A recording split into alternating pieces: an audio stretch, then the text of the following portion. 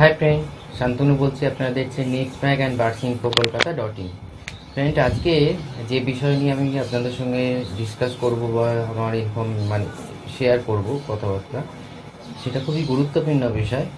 সেটার মানে এটা ধন্যবাদ আমি একজনকে দিচ্ছি নামটা ঠিক এই মুহূর্তে মনে পড়ছে না। তো উনি আমার মানে মানে উনি একজন সাবস্ক্রাইবার আমার এবং ফ্রেন্ডও ফেসবুকে তো সাবজেক্টটা উনি আমার মাথায় দিয়েছেন মানে থ্যাঙ্কস টু তার নামের জন্যে মানে ওনার জন্যে। সেটা হলো যে দেখুন, আমরা যারা ব্রিডার বা আমরা যারা ধরুন পাখি পুষি প্রত্যেকের ঘরেই কিছু না কিছু দেখবেন, আমি একটা ভিডিও ক্লিপ আমার এই ভিডিওর সঙ্গে অ্যাড করব। দেখলে বুঝতে পারবেন যে কি অবস্থায় রয়েছে না রয়েছে। এবার আমি আলোচনাটা আরম্ভ করছি, তাহলে বুঝতে পারবেন কি ভিডিও ক্লিপের কথা বললাম। তো এখানে বিষয়বস্তু হচ্ছে যে our bird our bird problem solution episode thirty অবধি করেছি। তো এইখানে আমি এটাকেও থার্ট মানে ওইটার মধ্যে রাখছি না প্রবলেম সলিউশন এটা প্রবলেম সলিউশনের থেকেও ঊর্ধ্বে ব্যাপার কি ব্যাপারটা যে, অনেক ক্ষেত্রে দেখা যায় যে, আমাদের ধরুন লাভবার্ড ককটেল বদ্রি, যে সমস্ত যার কাছে যেরকম ব্রিড আছে, সেই ব্রিড করানোর পর অনেক ক্ষেত্রে বা অনেক সময় দেখা যায় যে ক্ল্যাচের মধ্যে একটা দুটো বাচ্চা হয়তো পায়ে ঠিক মতন দাঁড়াতে পারছে না বা কোনো রকম আপনার ডানায় প্রবলেম আছে বা আইতে প্রবলেম আছে। মানে কোনো কারণে একটা হতে পারে যে অপুষ্টিকর মানে মা বাবা সেরকমভাবে ফিট ঠিক মতন শারীরিক গঠ মানে মানে ব্যালেন্স ফুড না দেওয়াতে, তার ফলে সে যখন ক্ল্যাচ করছে সেখানে পঙ্গু বাচ্চা এক ধরনের বেরোচ্ছে। আর একটা হয় যেটা আমার ক্ষেত্রে ঘটেছে যে আমার যেটা ঘটেছিল, সেটা হচ্ছে যে ফিশারে, গ্রিন ফিশার বেবি যেটা ওটা বাচ্চাটা বেরিয়েছে প্যাস্টেল টাইপের এখনও ফুল বেরোয় মানে মার্কিং তো আসেনি, বাচ্চা এখন সবে এক মাস, ওই ধরুন দশ বারো দিনের কি পনেরো দিনের মতন হবে। কি হয়েছিল যে ওদের যখন নিম পাতা, ফিম পাতা দিতাম, খেত, বাকিগুলো ওই ডাল শুদ্ধ নিয়ে চলে যেত। এবার বাচ্চা যেহেতু, ডাল পাল আমার বাসাতে একদম ভরা একদম। নিম পাতা, সজনে ডাঁটা সব খেত, কিছু করে আবার নিয়েও চলে যেত। তাহলে বাচ্চা অবস্থায় লাস্ট যে বাচ্চাটা বেরিয়েছিল পায়ে ঠিক ধরুন এটা যদি পা হয়, আঙুলটা এটা মানে আঙুলগুলো বেরোচ্ছে, এইখান থেকে পুরো কেটে বেরিয়ে গেছে। তো প্রথমে ভেবেছিলাম, বাচ্চা, ওকে আমি দেখাচ্ছি। সেইটাই বলছি ক্লিপটা দেখাচ্ছি। আর এক মানে প্রথমে তো ভেবেছিলাম আমি রিকভার করতে পারব না। তো অনেক কষ্টে ওই বার্ডস কেয়ার ওষুধটা খাইয়ে, যেটা আপনাদের সঙ্গে আমি শেয়ার করেছিলাম, তারপরে বেটাডিন লোশন বেটাডিন অয়েনমেন্ট মানে লোশান গরম জলে সেঁক দিয়ে মানে এই রকম ধরুন, ওর যদি বাচ্চাটা এইটুকুনি হয়, পাটা ফুলে গেছিল ধরুন এতটা, আমি একটু মানে দেখাতে পারব না, সেই সময় ক্লিপটা আমার তোলা নেই। তো জাস্ট তখন প্রে করেছিলাম গডের কাছে। যে একে ঠিক করে দাও, একে আমার কাছেই আমি রাখব। তো আর একটা হচ্ছে আমার স্যারের থেকে আমি নিয়ে এসেছিলাম, যে সেম বাচ্চা বাচ্চা, বাচ্চাটা পাখিটা খুবই ভালো গ্রিন ফিশার ওটা। কিন্তু পায়ের আঙুলগুলো ওই একই সেম অবস্থায় পড়ে যায় ছোটবেলাতে বা নষ্ট হয়ে গেছিল। যার ফলে আস্তে আস্তে ওটা যেটা হয় আমাদের মানে পুড়ে মানে খুলে পড়ে গেছিল।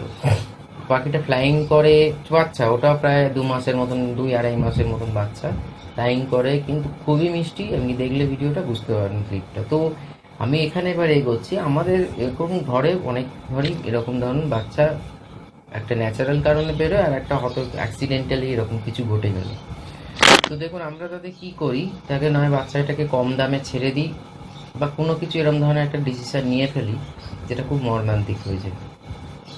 দেখ, আমরা সেই জন্য এই এপিসোডটার আমি নাম দিচ্ছি যে উম, বলছি যে রিকেট বেডি বেবিকে কীভাবে আমরা কেয়ার করব?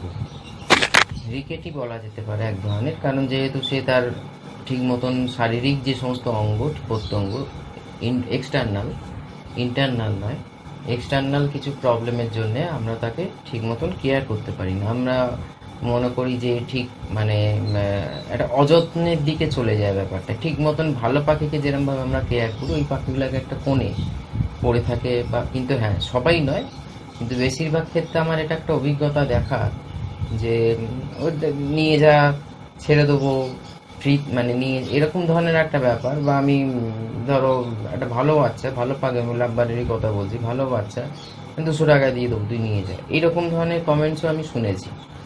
তো ফ্রেন্ড আপনাদের কাছে একটা রিকোয়েস্ট আছে। দেখুন, যদি পাখিকে আমরা সত্যি ভালোবেসে থাকি, শুধু যারা ব্রিডিং পারপাসে পাখিকে রাখছে, তাদের কথা বাদ দিয়ে যারা আমরা বার্ড লাভার তাদের কথা আমরা যদি আমাদের ঘরে যদি এরকম যদি হয় কাইন্ডলি ফ্রেন্ড এটার জন্য একটু চিন্তা করবেন। কি চিন্তা করবেন? দেখুন, আজকে যদি, আজকে আমার নিজের বাচ্চা যদি এরকম অটিস্টিক মানে কিছু হয় বা এরকম ধরনের কোনো রকম ধরো তার পোলিও যাদের কিছু প্রবলেম বা হয়তো সে চোখে দেখতে পাচ্ছে না। তাকে কি আমরা টেক মানে কেয়ার করি না? আমরা মানে মায়েরা এবং বাবারা একটা এক্সট্রা কেয়ার তার মধ্যে থাকে। যে সাধারণ বেবি যদি হয়, যার সমস্ত কিছু ঠিক আছে, তার থেকে একে কেয়ারটা এই কারণে বেশি দিতে হবে যে তাকে যাতে মেহসুস না করতে পারে মানে অনুভব না করতে পারে, সে অবহেলিত হচ্ছে। তো পাখির ব্যাপারেও তাই। দেখুন ফ্রেন্ড কোনো না কোনো কারণবশত ন্যাচারাল ওয়েতে হোক মানে তার পেরেন্টসের অপুষ্টির কারণে বাচ্চারাম বেরোক বা অ্যাক্সিডেন্টালি কিছু এরকম ধরনের হোক। চোখে প্রবলেম কি, ডানায় প্রবলেম উঠতে ক্লাইম করতে পারছে না, বা ঠিক মতন গ্রিপ পাচ্ছে না, হাঁটতে পারছে না, যেটা হয় কি খুঁড়িয়ে খুঁড়িয়ে হাঁটছে। তো একে অযত্ন প্লিজ করবেন না। কারণ হচ্ছে এদের, কারণ আমার কাছে ধরুন যে বেবিটা আমি আপনাকে ক্লিপটা দেখাচ্ছি একটু পরে মানে আমি আলাদা এই ভিডিওর সঙ্গে অ্যাড করে দেবো, আলাদা তোলা আছে আমার। তো সেখানে মানে এটা আমি মানে ডিসাইড করে নিয়েছি যে ফার্স্ট হচ্ছে ওই দুটো বেবিতে আমি জীবনে ছাড়বো না যতদিন ও জীবনকাল আমার সঙ্গে থাকবে। আর এদের আমি এমন কেয়ার করব যাতে তারা মনেই হবে না যে তার পা নেই বা সে ফ্লাইং করতে পারে না বা আমার, সে আমার যেটা রয়েছে ফ্লাইং করতে পারে। আমি উদাহরণ হিসাবে বলছি যে ওর পা তো অসুবিধে মানে ঠিক মতন ধরুন এটা যদি ডাল হয়, গিয়ে বসতে গেলে প্রথম প্রথম যে অসুবিধা হবে, তারপরে সেটা হ্যাবিচুয়েটেড হয়ে গেলে কোনো অসুবিধে নেই। সেকেন্ডলি আই প্রবলেম থাকলে তার হয়তো দেখতে অসুবিধা হচ্ছে, তাকে ঠিকঠাক মতো মানে তাদের এমনভাবে একটা কেয়ারিংয়ের মধ্যে রাখা, যাতে তারা অনুভব না করতে পারে আমি শারীরিকভাবে ঠিক মতন সুস্থ নই। এটা কারণ হচ্ছে বার্ড সাইকোলজিতেও বলে, আজকে বার্ডসকে আমরা কি করি যে আপনারা একটা জিনিস মাথায় রাখুন, এরা মুখে ছাড়া, জীবজন্তু বার্ডস এরা মুখে ছাড়া তাদের ফিলিংসও আছে। যে আপনাকে যদি একটা পিন ফোটানো হয়, যতটা লাগবে, একটা বার্ডসকেও শরীরে পিন ফোটালে ততটাই লাগবে এবং একটা কুকুরকেও পিন ফোটালে ততটাই লাগবে। কারণ এদের মধ্যে খালি এক্সপ্রেশনটা ভাষা এরমভাবে করতে পারে না, ওদের ভাষা এক্সপ্রেস করে, কিন্তু আমরা তো ওই ভাষাটা বুঝতে পারি না, যার ফলে মনে করি এটা তো বল এটা সামান্য জিনিস, কোনোটাই ফ্রেন্ড সামান্য জিনিস না। আমাদেরও যেমন একটা গুরুত্ব আছে এই শরীরের, তো ওদেরও সেই গুরুত্বটা দেওয়া দরকার, আমি মনে করি। এবার আপনারা এই আমার সঙ্গে একমত হবেন কি না সেটা হচ্ছে আপনাদের নিজস্ব নিজস্ব চিন্তাধারা, নিজস্ব নিজস্ব ফিলিংস কিন্তু আজকে যদি তাকে এই বাস যেটা আমার প্রবলেম হয়েছে বা আমি যেটা স্যারের থেকে নিয়ে এসেছি, সে আমাকে এমনি বলেছিল যে সে কাউ মানে সে নিজে রাখবে। তা আমি বলেছিলাম, না, তুমি আমাকে দাও। আমি কেয়ার করে নি এটাকে ঠিক মতন রাখতে চাই। কারণ আমি নিজে যেচে নিয়েছি। কারণ আমার মনে হয় যে এদের কেয়ারিংটার থেকে যখন এরা সত্যিকারের, একটা সময় যদি এরা ব্রিডেও আসে একটা মেল আছে আমার, একটা ফিমেল স্যারের থেকে যেটা নিয়েছি ফিমেল আর আমার কাছে যেটা রয়েছে, রনি। হ্যাঁ রনি, ওর নাম রনি। তো হচ্ছে মেল তো কোনো কারণে আনার পর থেকে দেখছি দুজনে একসঙ্গেই রয়েছে, একটা বন্ডিংয়ের মতন হয়েছে। তো এরপরে যখন তারা অ্যাডাল্ট হবে অ্যাডাল্ট অবস্থায় যখন ধরুন সাপোজ এরা যদি ব্রিড করল তো স্যাটিসফ্যাকশন আমি মানে আমার সারা ধরুন মানে যতদিন ওর যত ধরো একটা সময়ে যে ব্যাপারটা থাকছে অ্যাডাল্ট হতে, সেই অ্যাডাল্ট হওয়ার সঙ্গে সঙ্গে যে কেয়ারিংটা সেই কেয়ারিংটার থেকে যে আনন্দটা আসবে, যে এও কে কেয়ারিং করেছিলাম বলে তবে সে একটা জায়গায় আসতে পেরেছে, এর থেকে মানে আমি ঠিক ভাষায় এটাকে বোঝাতে পারব না যে ভেতরে ফিলিংসটা কীরকম আসবে, সেটা আপনারা নিজেরাই ফিল করতে পারবেন সেই অবস্থায়। তো একটাই অনুরোধ আপনাদের, এই সমস্ত বেবিকে ফেলে দেবেন না। নিজের কাছে রাখুন, অপরের কাছে গেলে তারা অবহেলিত হবে, কারণ সবাই কিন্তু বার্ড লাভার না। আজকে বার্ড ব্রিডিং সেট আপে বেশিরভাগ মানুষ আসছে কিন্তু ইকোনমিক দিক দিয়ে। কারণ তারা দেখছে একটা মানুষ, আগে কি করি আমরা? আগে আসবার সময় ফিল্ডে হাজার জনকে অনেক কিছু জিজ্ঞেস করি যে, এত ইনভেস্ট করলে কত রিটার্ন হবে? কেউ কিন্তু জিজ্ঞেস করি না যে, পাখিটাকে নিয়ে আমরা কাজ করতে আরম্ভ করছি, তার ইনফরমেশন গ্যাদারিংটা খুব কম হয়। যার ফলে আমরা যখন যারা নিউ কামার যারা বিগিনার তারা কিন্তু অনেক রকম সমস্যায় পড়ছে পাখির ব্যাপারে। কিন্তু আমাদের আমাদের উদ্দেশ্যটা কি? যে পাখি কখন ডিম পারবে, বাচ্চা হবে, সেটা সেল করে আমি যে ইনভেস্টটা করলাম, সেটা রিটার্ন পাবো। তাতে কি হচ্ছে? পাখির কেয়ারিংটা অনেক কমছে। মানে জাস্ট আমি আমি ছুঁয়ে যাচ্ছি ব্যাপারটাকে। কেয়ারিংটা এই কারণে কমছে। আমরা যদি এই ফার্স্টে যদি এইটাকে চিন্তা করি যে আমি আগে পাখিকে ভালোবাসবো আগে তার কেয়ার করব। তারপরে সে ন্যাচারাল ওয়েতে যখন ব্রিডিংয়ে আসবে, সেখান থেকে বাচ্চা হলে আমি তো নিশ্চয়ই ঘর ভর্তি করব না, আমি তাকে পাঁচ ছজনকে সেল করব, ভালো বাচ্চা সেল করব, সেখান থেকে যে ইনকামটা আসবে সেটা আমার প্রাপ্য। এটা আমার চিন্তাধারা ফ্রেন্ড এটা আমি কাউকে, দেখুন, আমার চিন্তাধারা মানে এই নয় যে আমি আপনাদের ওপর জাস্ট থ্রো করছি। আমি আমার চিন্তাধারাকে শেয়ার করছি।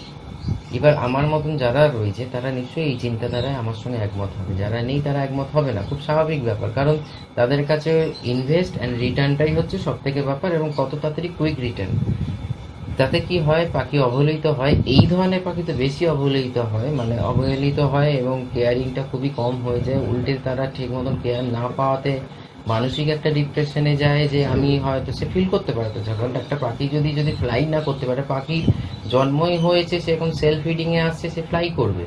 তো সেই ফ্লাইটা যখন সে করতে পারছে না, তার মধ্যে একটা ডিপ্রেশন আছে। সেই যখন ঠিক মতন কোনো কিছু গিয়ে ধরতে পারছে না, বুঝতে তার মধ্যে ডিপ্রেশন আছে।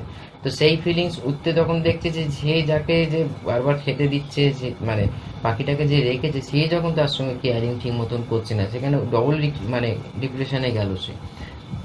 একটা কথা মানা মাথায় রাখবেন, পাখি হোক, মানুষ হোক, সবারই কিন্তু আমি জানি না এখানে এই কথাটা বলা প্রযোজ্য কিনা, সবারই কিন্তু একটা ফিলিংস আছে এবং তারাও প্রত্যেকেই কিন্তু হার্ট হয়। আজকে আমাদের যদি চট করে আমার সাম- আমার সামনে এসে বা আমার বাড়িতে এসে বা আমাকে যখন যেখানেই হোক যদি কিছু উল্টোপাল্টা কথা বলে, তা আমায় কিন্তু হার্ট হবে।